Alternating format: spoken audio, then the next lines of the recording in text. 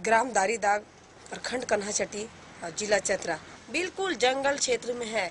सविका और सहेका दोनों तीन माह से जो आंगनबाड़ी बंद कर दी है। दवा पोषाहार बिल्कुल कुछ भी नहीं बट रहा है। सविका सहेका अपना मानदेय उठा रही है मज़े से अपने घर में है और बच्चे का ज़िंदगी से खेल रही है। कुछ ना ये नहीं मिलल है। वो नहीं मिलल है खाली एक किलो चावल और दाल को बस। कितना दिन से ना मिल रहा ये लगो है कि कार्तिक से वो नहीं मिलल है। आसिन आसिन नहीं मिलल है। काका से ना मिलल है। काका मिलल है खाली सोयाबीन मिलल है इतना। हाँ। एक किलो दाल और एक किलो चावल बस। छठ पूजा गुजरला के बाद तीन चार दिन खुलल है। फिर उसके बाद फिर बंद है। फिर तहना से बंद है आजकल ये। लगभग कितना दिन? लगभग दो महीने।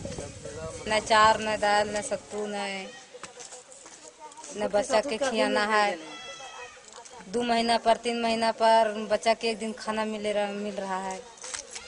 वो बोलो ये तो हमरा नहीं पर मुखिया जगह सरपंच जगह भेज है कि बोल जाओ मुखिया जगह सरपंच जगह या राशन खोजो ये तो राशन कर दो कि आज ये महीना नहीं आया है। यहाँ मेरा वाइफ जो सहिया दीदी है वो पूरा गाँव को जागरू अ, टीकाकरण करवाती है।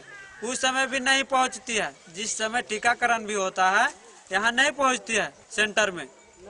मेरा वाइफ पूरा मेहनत करती है। विशेष में यही बोलना चाहते हैं कि मेरा आंगनबाड़ी बढ़िया से सही टाइम से खुले और यहाँ का बच्चा पोषा आहार जो भी मिलता है, वो अच्छा पोषा आहार मिले।